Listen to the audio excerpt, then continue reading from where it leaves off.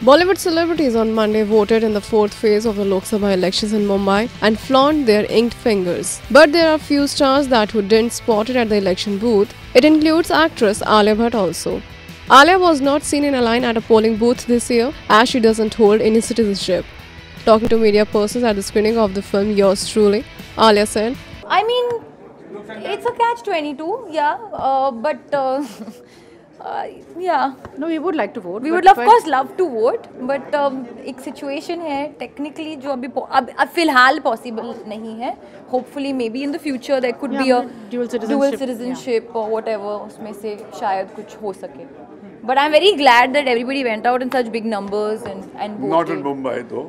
Earlier, Kamalanath's sister Rangoli Chandnil attacked Alia Bhatt and her mother Soni Razdan and called them non-Indian.